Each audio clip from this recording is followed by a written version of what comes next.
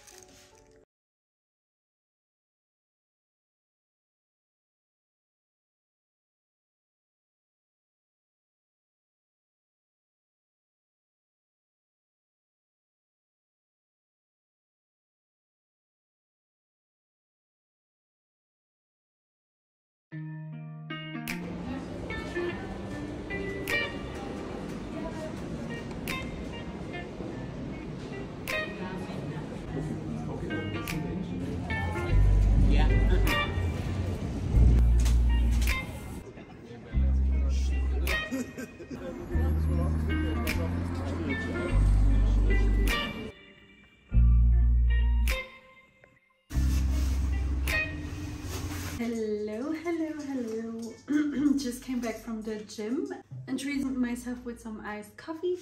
Easy. And I just wanted to show you what I thrifted yesterday, actually on Saturday, yesterday was Sunday.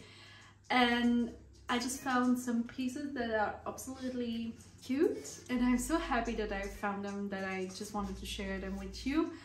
And anyways, let me show them to you.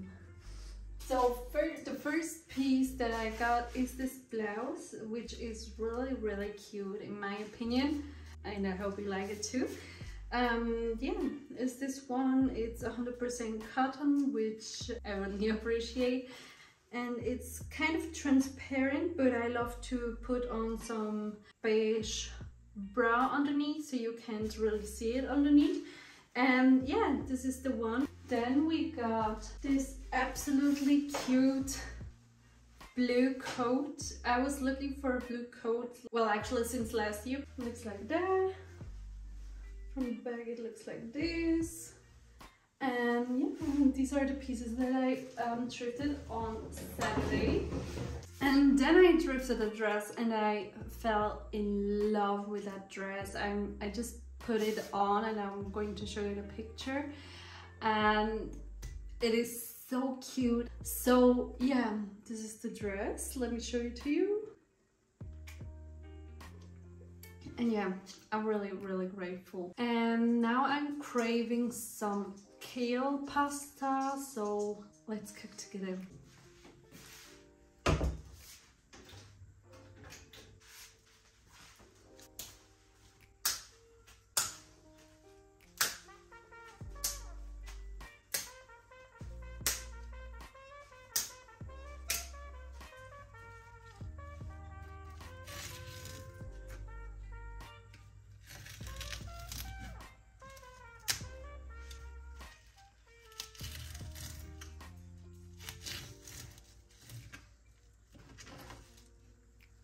the meantime that I'm cutting the kale, putting them in the water so it can boil. Anyways, I just wanted to tell you that I went to the hairdresser in Istanbul and I really regretted it because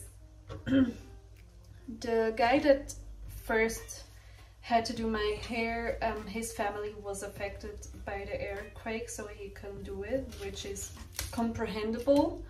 And So we went in and there was this other guy which offered to do my hair and I'm very, I'm kind of, uh, I'm very sensitive regarding my hair. So I just wanted to look on his Instagram so I can see his work what he's what he has done um etc etc especially as I wanted to go more well blonde. And I showed him a picture what I wanted because I think that's the most effective way to show your hairdresser what you want because like that he or her um, can see what color etc and the tone if you want it warmer beige or ashier.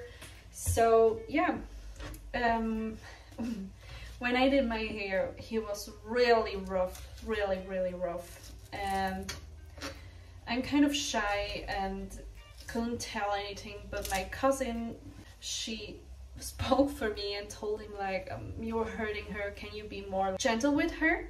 So it didn't really start really good so and in the end my hair was really really really ashy. If I see a picture I'm just going to show you. It was really really ashy. It was like of a gray to me or silver. A lot of people told me it's really beautiful but to me it wasn't and I hated it so much because I love like the goldish beige golden like the honey tone. So yeah I was really unhappy.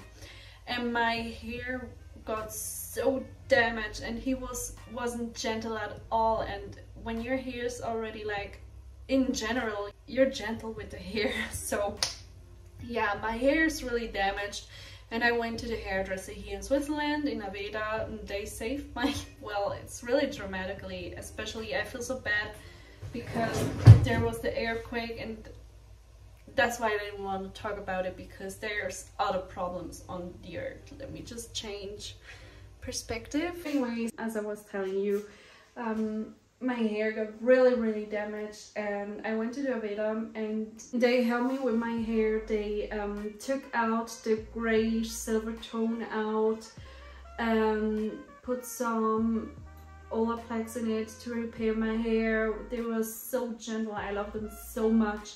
And then they put in a gold tone a pure gold tone. And it's still like it isn't bad as bad as it was. It will it isn't as ashy anymore but it is so difficult to get it out. But I'm so much happier and I cut like this much just to get more healthy haircut. And it is still really damaged so I'm just going to take care of my hair. I also got a uh, a mask from Aveda. I'm just going to show you which one I got. And it sounds really nasty, but I'm washing my hair, well, before I wash it like once or twice maximum per week. And now I'm like waiting eight to nine days. That doesn't mean that I sh don't shower daily but I don't wash my hair and that's the ninth day today and I'm just going to wash my hair uh, but yeah I just wanted to give you a, quick update about my hair and yeah. So let's continue cooking